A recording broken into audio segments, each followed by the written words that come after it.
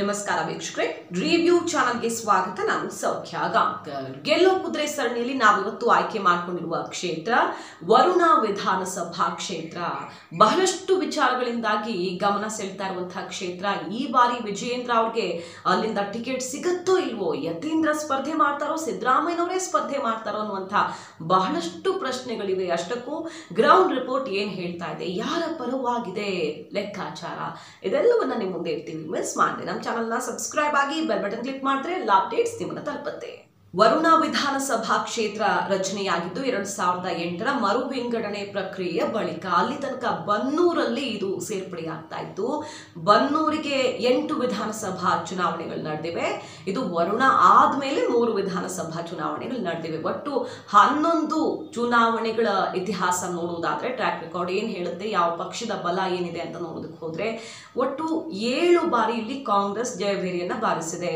ಹಾಗೆ ಒಂದ್ಸಲ ಬಿಜೆಪಿ, ಒಂದ್ಸಲ ಜೆ ಎಸ್ ಒಂದ್ಸಲ ಜನತಾ ಪಕ್ಷ ಒಂದ್ಸಲ ಪಕ್ಷೇತರ ಈ ರೀತಿ ಫಲಿತಾಂಶವನ್ನು ನಾವು ಗಮನಿಸಬಹುದು ಸೊ ಆರಂಭದಿಂದ ನೋಡ್ಕೊಂಡು ಬಂದ್ರೆ ಇದು ಕಾಂಗ್ರೆಸ್ನ ಭದ್ರಕೋಟಿಗೆ ಆದ್ರೆ ಲೋಕಲ್ ಆಗಿ ನಾವು ಲೆಕ್ಕಾಚಾರ ನೋಡೋದಕ್ಕೆ ಹೋದ್ರೆ ಬಿಜೆಪಿ ಕೂಡ ಸಮಬಲದ ಫೈಟ್ ಅನ್ನ ಕೊಟ್ಕೊಂಡು ಬಂದಿದೆ. ಜಿಲ್ಲಾ ಪಂಚಾಯತ್, ತಾಲೂಕ್ ಪಂಚಾಯತ್ ಚುನಾವಣೆಗಳಲ್ಲೆಲ್ಲ ಬಿಜೆಪಿಯು ಕೂಡ ತನ್ನ ಅಸ್ತಿತ್ವವನ್ನ ಸಾರಿ ಹೇಳಿದೆ. ಲಿಂಗಾಯತ ಪ್ರಾಬಲ್ಯ ಇರುವಂತಹ ಕ್ಷೇತ್ರ ಆಗಿರೋದು ಕೂಡ ಇದಕ್ಕೆ ಕಾರಣ ಅನ್ನೋದನ್ನ ಅರ್ಥ ಮಾಡ್ಕೊಳ್ಬಹುದು.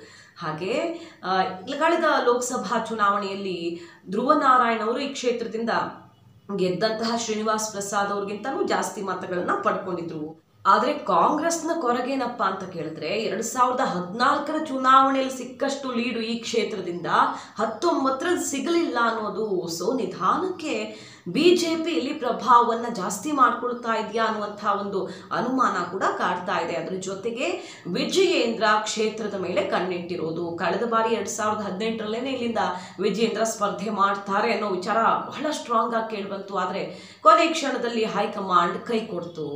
ಆಗ ತೋಟದಪ್ಪ ಬಸವರಾಜ್ ಅನ್ನುವಂಥ ಅಚ್ಚರಿ ಅಭ್ಯರ್ಥಿ ಅಲ್ಲಿಂದ ಸ್ಪರ್ಧೆ ಮಾಡಿದ್ರು. ಸೋತ್ರು ಯತೀಂದ್ರ ಅವರು ಬಹಳ ದೊಡ್ಡ ಲೀಡಲ್ಲಿ ಗೆದ್ದಿದ್ದು ಕೂಡ ನಮ್ಮ ಕಣ್ಮುಂದಿರುವಂತಹ ವಿಚಾರ.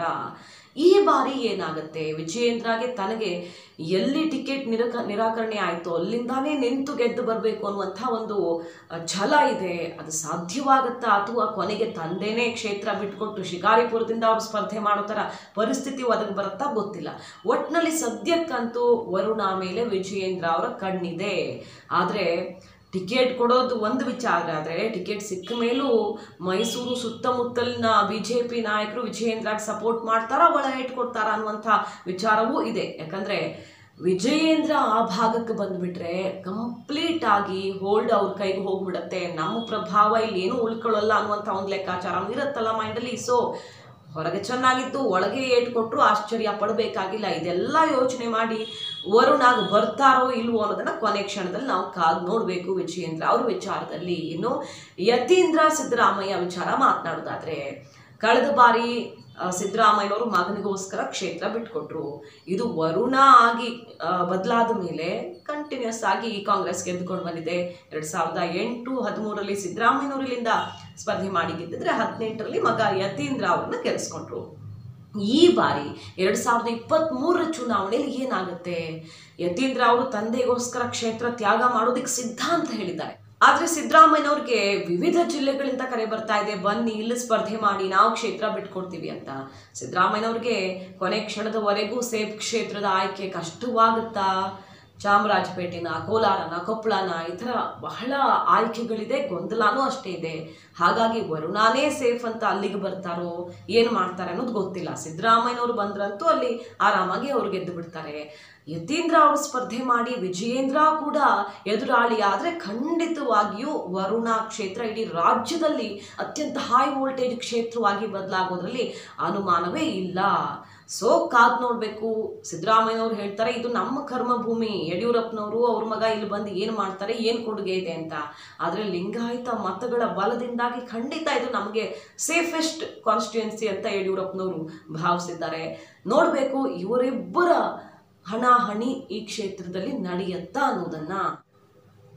ಇನ್ನು ಜೆ ಡಿ ಎಸ್ನ ವಿಚಾರ ಮಾತನಾಡೋದಾದರೆ ಇಲ್ಲಿ ಒಕ್ಕಲಿಗ ಮತಗಳು ಅಷ್ಟು ದೊಡ್ಡ ಪ್ರಮಾಣದಲ್ಲಿ ಏನೂ ಇಲ್ಲ. ಆದರೂ ಕೂಡ ಎರಡು ಸಾವಿರದ ಹದಿನೆಂಟರ ಚುನಾವಣೆಯಲ್ಲಿ ಜೆ ಡಿ ಎಸ್ನ ಅಭ್ಯರ್ಥಿ ಅಭಿಷೇಕ್ ಅವರು ಠೇವಣಿ ಉಳಿಸ್ಕೊಳ್ಳೋ ಮಟ್ಟಿಗೆ ಸಾಧನೆ ಮಾಡಿದ್ದಾರೆ. ಕಳೆದ ಚುನಾವಣೆಗಳಿಗೆ ಹೋಲಿಕೆ ಮಾಡಿದ್ರೆ ಜೆ ಡಿ ಎಸ್ನ ಪರ್ಫಾರ್ಮೆನ್ಸ್ ಇಂಪ್ರೂವ್ ಆಗಿದೆ. ಅಲ್ಲಿ ಒಂದು ನಂಬಿಕೆ ಬರೋ ಥರ ಆಗಿದೆ. ಅಟ್ಲೀಸ್ಟ್ ಜೆ ಡಿ ಎಸ್ ಸೋಲು ಗೆಲುವನ್ನು ನಿರ್ಧಾರ ಮಾಡಬಲ್ಲದು ಅನ್ನೋ ಸ್ಥಿತಿಗೆ ಬರ್ತಾ ಇದೆ. ಸೊ, ಎರಡು ಸಾವಿರದ ಇಪ್ಪತ್ತ್ಮೂರರ ಚುನಾವಣೆಯಲ್ಲಿ ಜೆ ಡಿ ಎಸ್ ಕೂಡ ಗೇಮ್ ಚೇಂಜರ್ ಆಗಬಹುದು. ಬಿ ಜೆ ಪಿ ಜೊತೆಗೆ ಅಕಸ್ಮಾತ್ ಕೈ ಜೋಡಿಸಿದ್ರೆ ಅಥವಾ ಕೈ ಜೋಡಿಸದೇ ಇದ್ರೂ ಮತಗಳ ವಿಭಜನೆಗೆ ಕಾರಣವಾದರೆ ಯಾರಿಗೆ ಲಾಭ ಆಗುತ್ತೆ ಅನ್ನೋದನ್ನು ಕಾದ್ ನೋಡಬೇಕು. ಪರಿಷತ್ ಚುನಾವಣೆಯಲ್ಲಂತೂ ಇಲ್ಲಿ ಕೈಗೆ ಲಾಭ ಆಗಿದೆ. ಓವರ್ ಆಲ್ ನೋಡೋಕೆ ಹೋದರೆ ಕಾಂಗ್ರೆಸ್ಗೆ ಒಳ್ಳೆ ಅವಕಾಶ ಇದೆ. ಬಿ ಜೆ ಪಿ ಹಾಗಂತ ಕಳಪೆ ಅಂತ ಹೇಳೋದಕ್ಕಾಗಲ್ಲ. ಜೆ ಡಿ ಎಸ್ ಅನ್ನು ನೆಗ್ಲೆಕ್ಟ್ ಮಾಡೋದಕ್ಕಾಗಲ್ಲ. ಜಾತಿವಾರು ಬಲಾಬಲವನ್ನ ಗಮನಿಸೋದಾದ್ರೆ ಆಲ್ರೆಡಿ ನಾನು ಹೇಳಿದ ಹಾಗೆ ಇಲ್ಲಿ ಲಿಂಗಾಯತರ ಪ್ರಾಬಲ್ಯ ಅತಿ ಹೆಚ್ಚಿನ ಸಂಖ್ಯೆಯಲ್ಲಿದೆ. ಸುಮಾರು ಅರವತ್ತು ಸಾವಿರ ಆಸ್ಪಾಸ್ನಲ್ಲಿದ್ದಾರೆ. ಬಿಟ್ರೆ ದಲಿತ ಸಮುದಾಯದ ಐವತ್ತೈದು ಸಾವಿರ ಮತಗಳು ಇಲ್ಲಿವೆ. ಹಾಗೆ ಕುರುಬ ಸಮುದಾಯದ, ಹಾಗೆ ಕುರುಬ ಸಮುದಾಯದ ನಲವತ್ತೈದು ಸಾವಿರಕ್ಕೂ ಅಧಿಕ ಮತಗಳು, ನಾಯಕ ಸಮುದಾಯದ ಮೂವತ್ತು ಸಾವಿರ ಆಸುಪಾಸಿನ ಮತಗಳು, ಒಕ್ಕಲಿಗ ಸಮುದಾಯದ ಹದಿನೈದು ಸಾವಿರ ಸಂಖ್ಯೆಯ ಮತಗಳು ಕೂಡ ತುಂಬಾ ಇಂಪಾರ್ಟೆಂಟ್ ಆಗುತ್ತೆ. ಇವರೆಲ್ಲರ ಆಶೀರ್ವಾದ ಯಾರ ಮೇಲಿರುತ್ತೆ ಅನ್ನೋದು. ಇದೆಲ್ಲ ಒಂದು ಅಂದಾಜು ಲೆಕ್ಕಾಚಾರ, ಆಸುಪಾಸಿನ ನಂಬರ್ಸ್ ನಾವು ನಿಮ್ಮ ಮುಂದೆ ಇಡ್ತಾ ಇದ್ವಿ. ಎಕ್ಸಾಕ್ಟ್ ನಂಬರ್ಸ್ ಅಲ್ಲ. ಕಳೆದ ಚುನಾವಣೆಯ ಮತದಾರ ಪಟ್ಟಿ ಆಧಾರದ ಮೇಲೆ ನಾವು ಕೊಡ್ತಾ ಇರೋ ಅಂಕಿಅಂಶ ಈಗ ಪರಿಷ್ಕರಣೆ ಆಗಿರುತ್ತೆ, ಸೇರ್ಪಡೆ ಆಗಿರುತ್ತೆ. ಸೊ ನಂಬರ್ಸ್ ಚೇಂಜ್ ಆಗುತ್ತೆ. ಇಲ್ಲಿ ನಾವು ಗಮನಿಸಬಹುದು, ಲಿಂಗಾಯತ ಮತಗಳು ಎಷ್ಟು ನಿರ್ಣಾಯಕವೋ ಅದ್ರ ಜೊತೆಗೆ ಅಹಿಂದ ಮತಗಳು ಒಡೆಯದಂತೆ ನೋಡ್ಕೊಳ್ಳೋದು ಕೂಡ ಅಷ್ಟೇ ಇಂಪಾರ್ಟೆಂಟ್ ಗೆಲುವಿನ ದೃಷ್ಟಿಯಿಂದ ನೋಡಿ.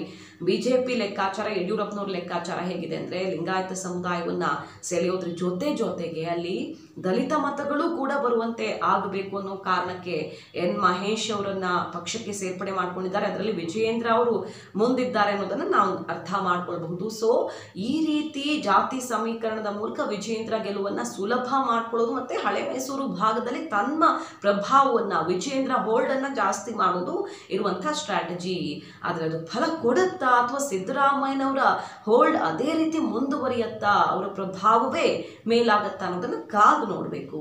ನೀವೇನಾದರೂ ವರುಣ ವಿಧಾನಸಭಾ ಕ್ಷೇತ್ರದ ವ್ಯಾಪ್ತಿಯ ಮತದಾರರಾಗಿದ್ದರೆ ಮಿಸ್ ಮಾಡದೆ ಕಮೆಂಟ್ ಮಾಡಿ ಅಭಿಪ್ರಾಯವನ್ನ ಶೇರ್ ಮಾಡಿ. ಕಾಂಗ್ರೆಸ್ನಿಂದ ಯಾರಾಗಬೇಕು ಅಭ್ಯರ್ಥಿ ಸಿದ್ದರಾಮಯ್ಯನವರು ಅಲ್ಲಿಗೆ ಬಂದು ಸ್ಪರ್ಧೆ ಮಾಡಬೇಕಾ? ಬಿಜೆಪಿ ವಿಜಯೇಂದ್ರ ಅವ್ರಿಗೆ ಟಿಕೆಟ್ ಕೊಟ್ಟರೆ ಒಳ್ಳೇದಾ ಅಥವಾ ಬೇರೆ ಬೆಟರ್ ಆಪ್ಷನ್ ಏನು? ಕ್ಷೇತ್ರದಲ್ಲಿ ಕೆಲಸ, ಕಾರ್ಯ ಏನಾಗಿದೆ? ಎಲ್ಲವನ್ನು ತಿಳಿಸಬಹುದು. ಮಿಸ್ ಮಾಡದೆ ನಮ್ಮ ಚಾನಲ್ನ ಸಬ್ಸ್ಕ್ರೈಬ್ ಆಗಿ ಬೆಲ್ ಬಟನ್ ಕ್ಲಿಕ್ ಮಾಡಿದ್ರೆ ಎಲ್ಲ ಅಪ್ಡೇಟ್ಸ್ ನಿಮ್ಮನ್ನು ತಲುಪುತ್ತೆ ಥ್ಯಾಂಕ್ ಯು